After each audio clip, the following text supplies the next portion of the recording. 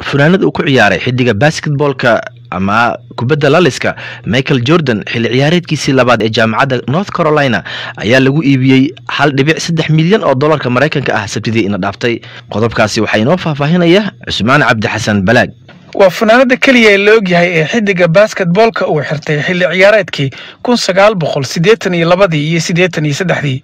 Waxaa lagu iibiyey saddex laabka intii lagu iibiyey funaanadii hore ee jordan sida ku cad qiimaha u dambeeya ee ku qoran.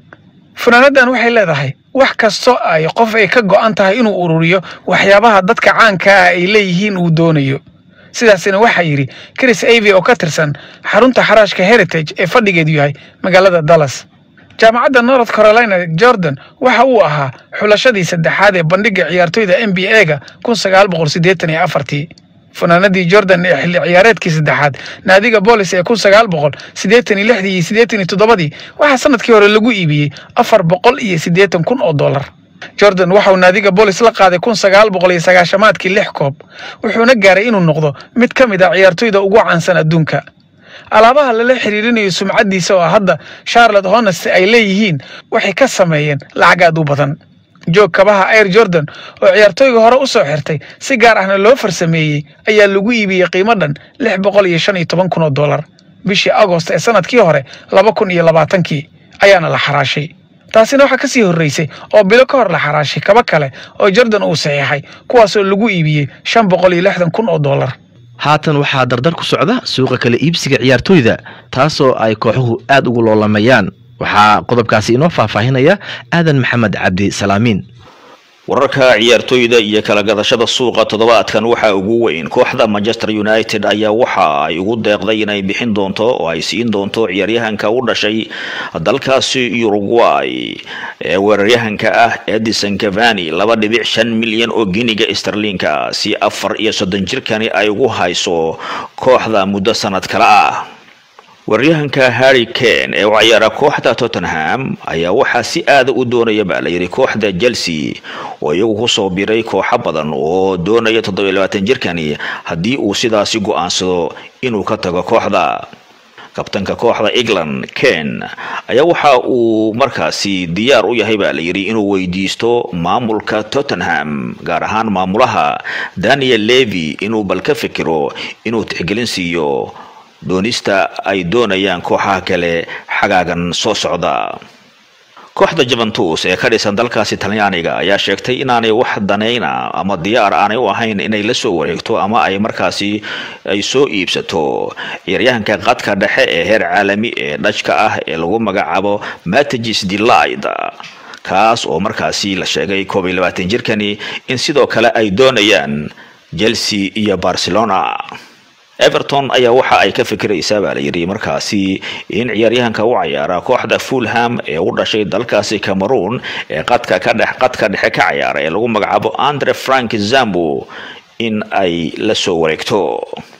Maamulaha kooxda arsenal michael artetana waxa uu ku baaqay oo ugu baaqay maamulka kooxdaasi in ay kooxda ku bixiyaan oo ay geliyaan qarash dheria si markaasi loo xaqiijiyo buu yidhi in ganarisku ay sii ahaadaan kuwa iyagoo u tartama horyaalka premier leaga ee ingiriiska.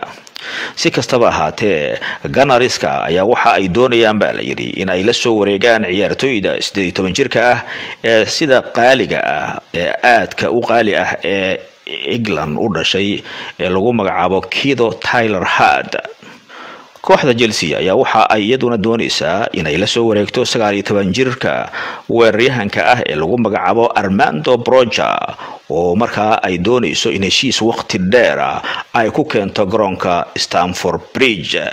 Kadib markii ciyaartooygaasi uu soo bandhigay ciyaaro aada u wanaagsan kooxda chelsea ayaa haatan waxaa ka muuqda isbeddel weyn oo hurka ciyaareed ah.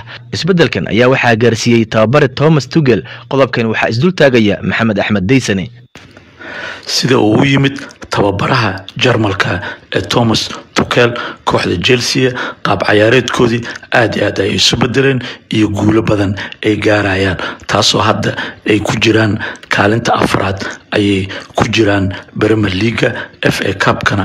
Final ayay taagan yihiin. Champion leaguana wuxuu taagan yahay. Final ayuu taagan yahay. Isbedel aad iyo aad weyn ayuu muujiyey.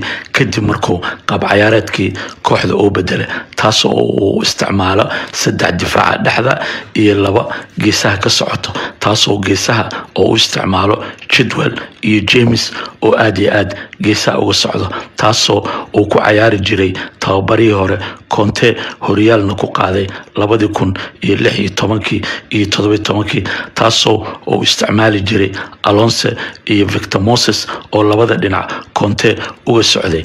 Inkastoo weli ay isku qaab yihiin conte hase yeeshee thomas tukel layaab ayuu la soo baxay oo waxaa u malaysaa inuu macalimiin badan oo waaweyn oo yuruba uu ka adkaaday taasoo bebe gordiole oo laba mar uu ka adkaaday simonina oo atletica madridna laba mar ka adkaaday sidanna oo ka adkaaday kulubna oo ka adkaaday murinina oo ka adkaaday. Marka waxaa loo malaynayaa inuu guul degdega oo gaaro oo f a cupkana uu ku guuleysto oo lester la cayaaraya champion leaguana oo waxaa dhici karto inuu city uu ka adkaado inkastoo kooxda city labadii cayaar oo la cayaaray oo bebe gordiole kow iyo tobankii asiga uu rabay uusan weli u safin thomas tuchel waxaana arki doonaa labaatan iyo sagaalka bishan markuu bebe gordiole dhammaan cayaartooydiisa asiga oo rabay oo kuwa b s g la cayaaray oo cayaarsiiya si kastaba ha noqotee tuchel wuxuu aaminsan yahay inuu ka adkaa karo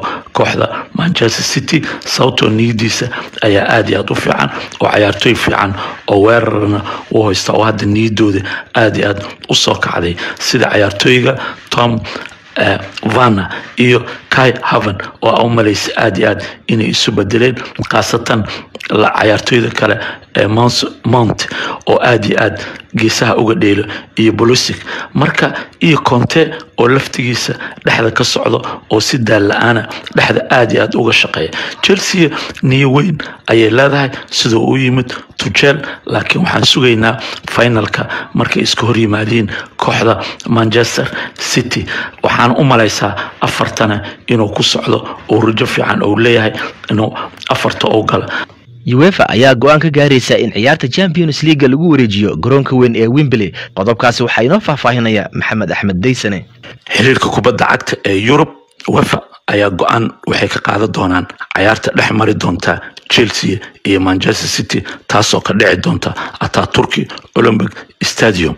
Cayaartaas oo dhici lahayd labaatan iyo sagaalka bisha shanaad labada kun iyo labaatan iyo kowga ayaa waxaa loo maleeyaa in loo soo wareejiyo garoonka weyn ee wembley. Sababaha loogu soo wareejinayana waxay tahay wadanka u k oo go'aan ka qaaday ka qaatay wadanka turkiga oo ku jiro waddamada red listiga ay la geliyey saas daraaddeed taageerayaasha chelsea iyo manchester city oo loo qoondeeyey sideed kun oo taageero ah suurtagal maaha inay aadaan wadanka turkiga.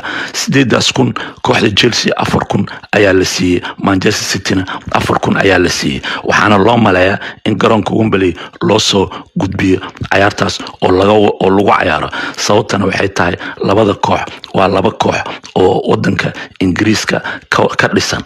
Garoonka wembley cayaartii ugu dambeysay ee champion leaga lagu qabto waxay ahayd labadii kun iyo saddex iyo tobankii taasoo dhex martay bari munic iyo brusia dortmouth laakiin garoonka weyn oo wembley waxaa laga yaabaa kooxda manchester city inay cudurdaar ka keento kaasoo ku yaalla magaalada london chelseana ay degan tahay magaalada london oo saas uga fogeyn garoonkaas.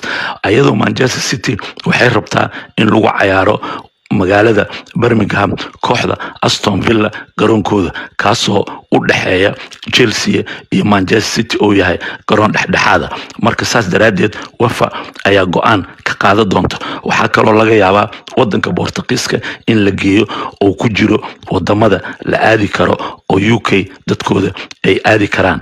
Marka wefa go'aankooda wuxuu soo bixi doonaa arbacada meesha la gey doona cayaartana ayaga ayaa ku dhawaaqi doona. Laakiin turkiga garoonkii ataturki olympic stadium shaki weyn ayaa ku jira coronaviruska daraadiis intaas waxaa inagu dhan dhegaystayaal barnaamijka isboortiga tan iyo kulanti dambe waxaa idinkaga tegaynaa sidaas iyo nabadgelyo